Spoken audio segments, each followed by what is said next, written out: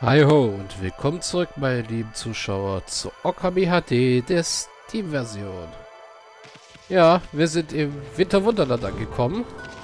Vielleicht treffen wir unterwegs den Weihnachtsmann und seine Wichtel. Auf jeden Fall scheint es hier neue Gegner zu geben, garantiert, oder? Die irgendwie nichts von uns wissen wollen. Ach ja, die Schildträger.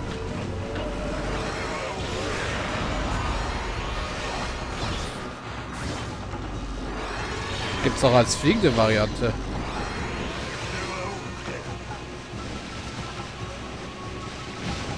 So.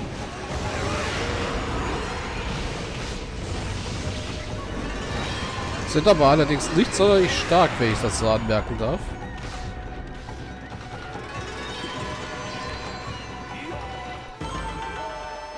Geben aber gut Geld.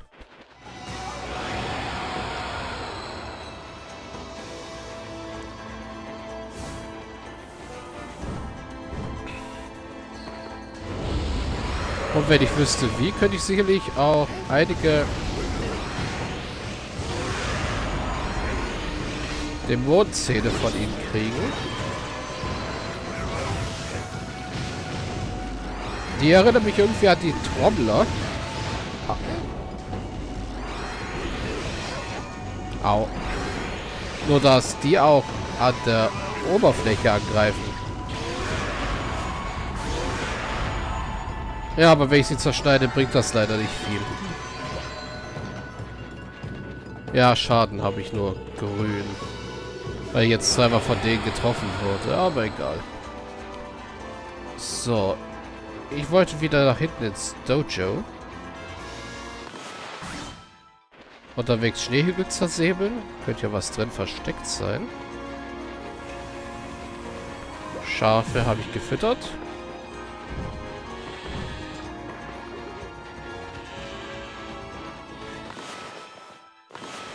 Da ist eine Truhe, die ich schmelzen kann. Mit einer Perle drin. Yay.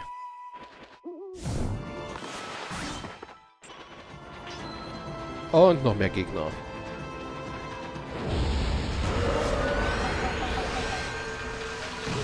Oh nö, so eine Wurst.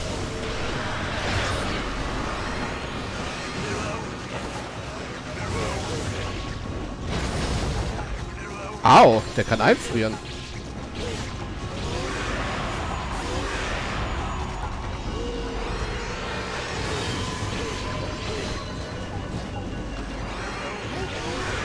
Was irgendwie klar gewesen ist. Also da, den da kennen wir auch irgendwie. Also die Art von Gegner. Sie sind schon ein bisschen ähnlich wie die Dämonen aus dem ersten Akt, sage ich jetzt mal. Also aus den aus der Taka-Ebene, nicht aus der Taka-Ebene, aus dem Shinsu-Feld. Hallo Füchse, euch habe ich schon gefüttert.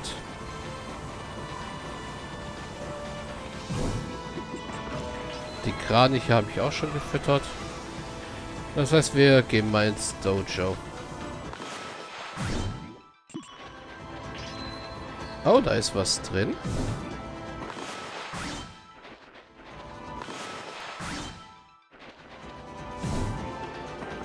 Eine ist so ein Statue. Okay.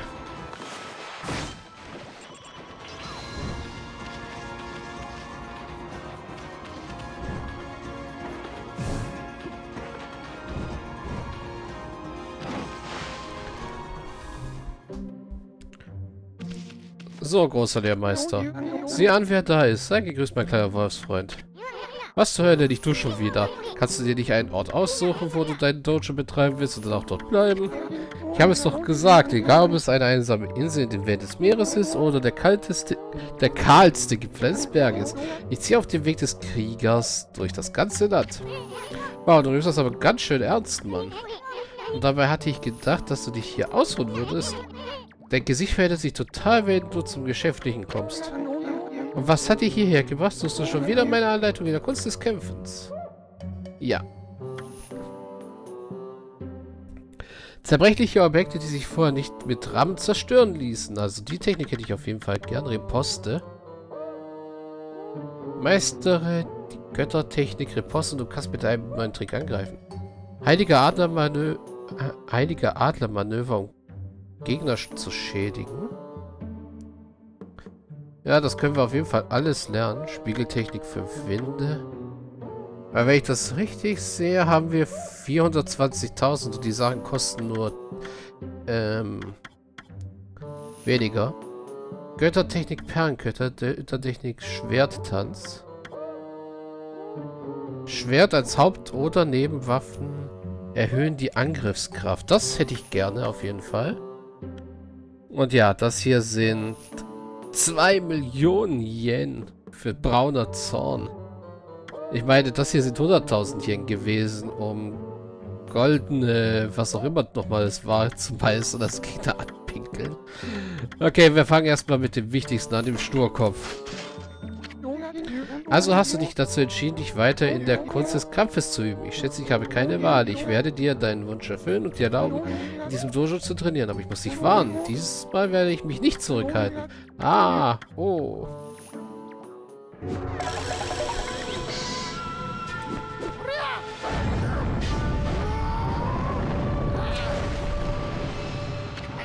Ah. Bist du mental darauf vorbereitet, dich der ultimativen Herausforderung zu stellen? Schritt ein und wir werden dich testen. Also ja, die 2 Millionen Yen zu sammeln für den Brau... Für das Brau... Äh, für die... Ihr wisst schon was. Ähm, das kann dauern. Dann lass uns mit dem Training beginnen. Wir werden die Göttertechnik Sturkopf trainieren. Nimm dir diese Tipps zu Herzen und erinnere dich daran, während wir trainieren.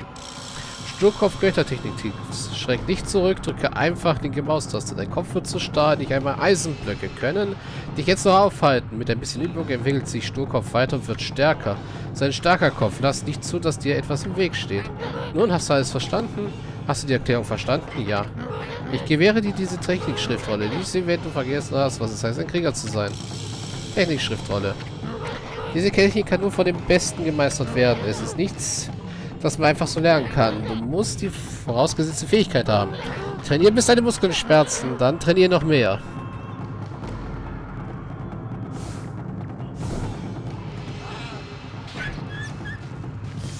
Ja. Möchtest du die Tipps noch einmal hören? Na gut, so merkt ihr, was ich sage. Ja.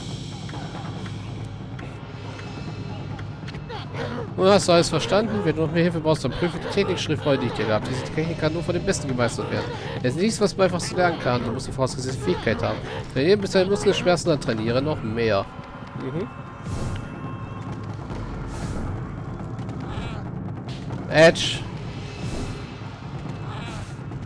Edge.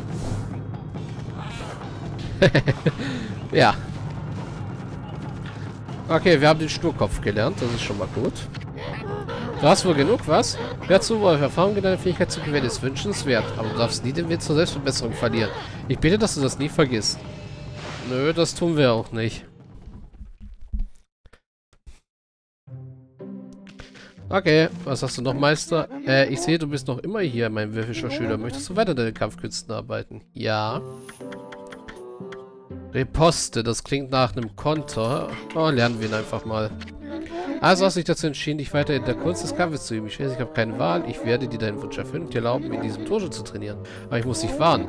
Diesmal werde ich mich nicht zurückhalten. Ah, oh. Und wieder dreht er seinen Kopf.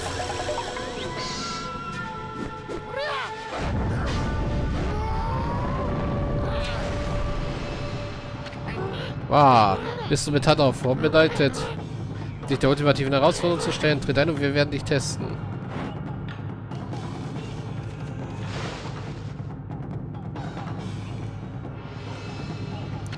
Dann lass uns mit dem Training beginnen. Wir werden die Göttertechnik Riposte trainieren.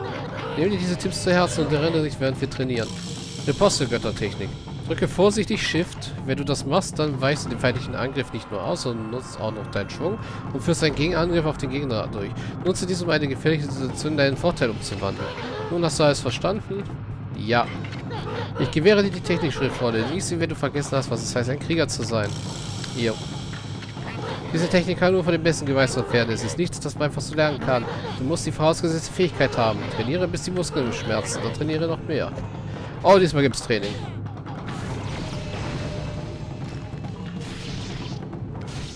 Ah. Also wenn ich jetzt durch Gegner durchdodge, dann mache ich ihnen Schaden.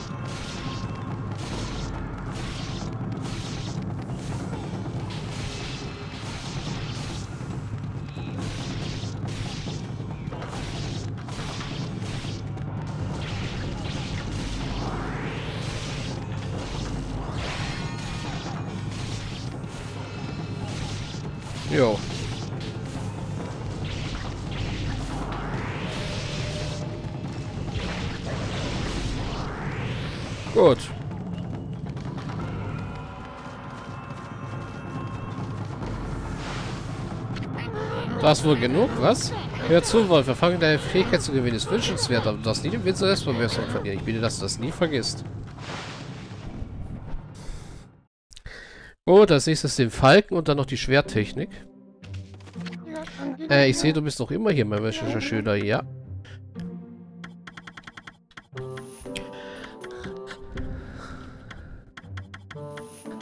Vierschnitt. Schwerttechnik. Göttertechnik, Schwerttanz. Perlenkette.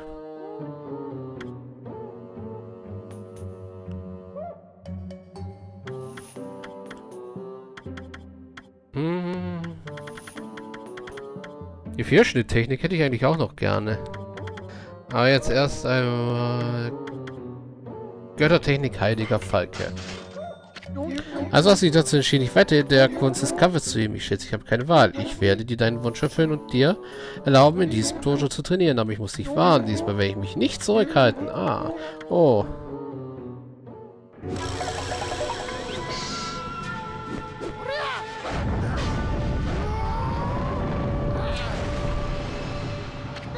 Ah. Ist Metall vorbereitet? Ja.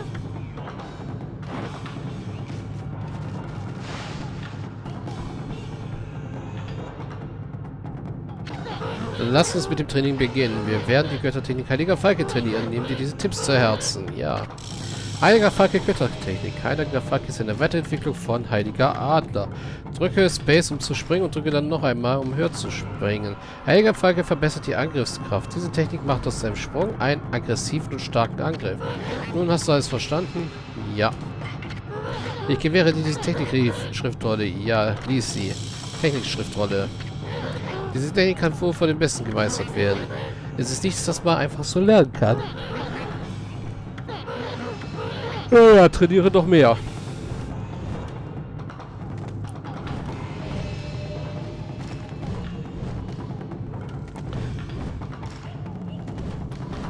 Also wenn ich das jetzt im Kampf benutze, dann ist, ähm, kann ich damit Gegnern im Flugschaden machen. Das ist nicht schlecht.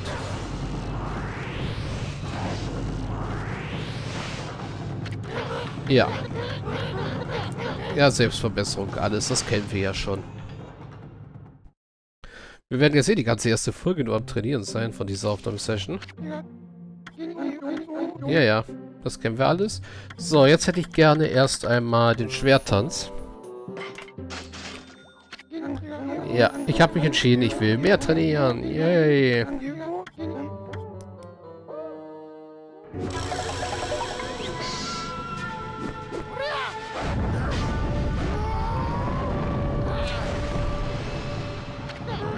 War, bist du auch bereit? Ja, ja, tritt ein.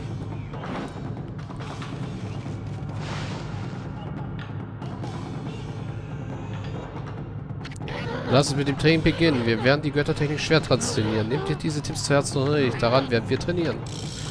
Ja, Schwert. Rüste dich für diese Technik mit Schwert als Haupt- und Nebenwaffe aus. Beide Schwerter werden eine Vergrößerung der Macht unterzogen.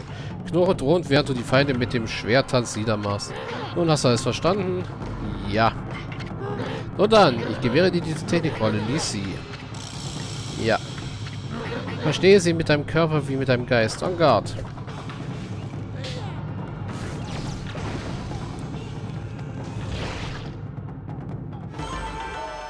Gut gemacht, way. Das reicht jetzt. Sehr beeindruckend. Du hast mir deinen Kriegsgeist gezeigt. Du darfst dieses, diesen Geist nicht vernachlässigen. Trainiere jeden Tag. Du kannst jetzt gehen. Zeige dieser, verd diese verdammten Kreaturen die waren Natur eines Kriegers.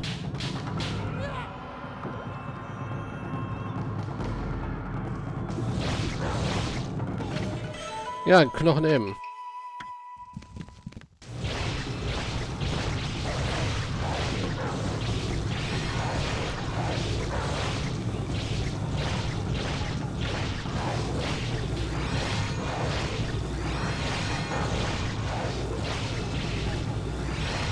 So, dann gehen wir mal wieder und lernen als nächstes noch die vier Schnitte Technik.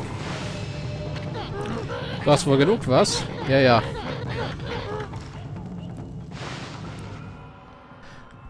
Und dann sind wir erstmal wieder ausgerüstet. Besser kämpfen zu können. Ja, ja, wir möchten trainieren. Lernen.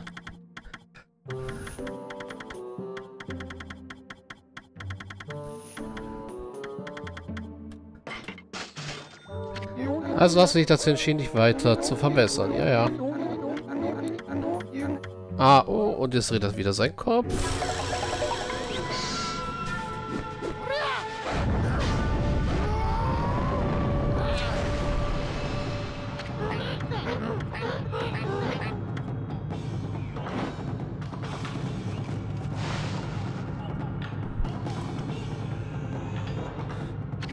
Lass uns mit dem Training beginnen. Wir werden die Schwerttechnik Vierschnitt trainieren. Nimm diese Tipps zu Herzen. Vierschnitt Schwerttechnik. Drücke, um den Angriff zu beginnen. Drücke dann wiederholt schnell. Achte auf das Timing. Wiederhole das, bis du vier aufeinander folgende Schwertreffer gelandet hast. Umso länger du gedrückt hältst, umso stärker werden die Angriffe. Mit dieser Technik werden verheerende Angriffe möglich. Schneide dem Feind in kleine Stücke. Spalte den Feind in zwei Hälften. Nutze deine neue Technik, um dem Bösen eine Lektion zu erteilen. Ja, hab alles verstanden. Ey, nun an, ich gebe dir diese Technikrolle. Dies wenn du vergessen hast, das heißt, ein Krieger zu sein. Versteh sie mit deinem Körper wie mit deinem Geist. En garde.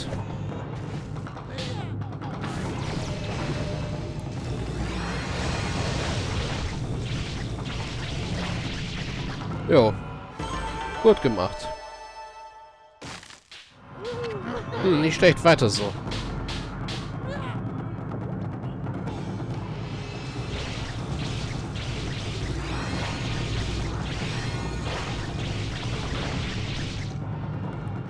Gut gemacht. Yay. Nicht aufgeben, streng dich mehr an.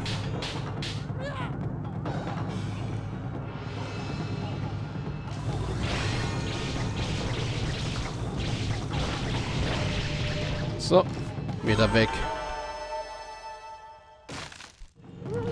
Ist alles, alles, was du zu bieten hast. Nö, wir kommen, können noch mehr machen, wie sich Amaterasu immer pennen legt, bis, die Sta äh, bis der Dummy wieder steht.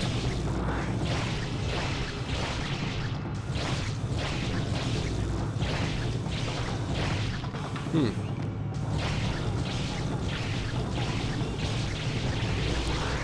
So, jetzt haben wir getroffen. Ja, lass den Kriegsrest hell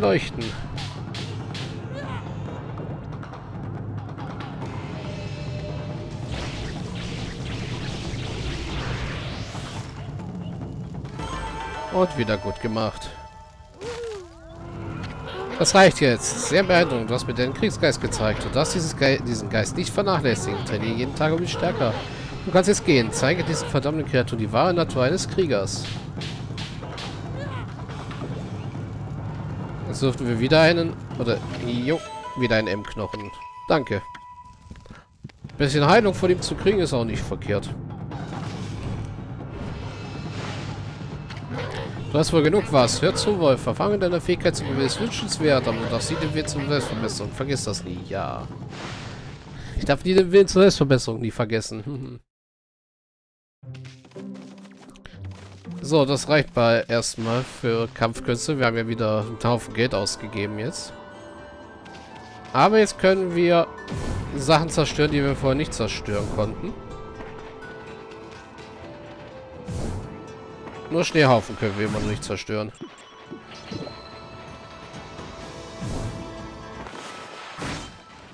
Oh. Da ist jedes Mal eine andere Statue drunter. Das ist ja cool.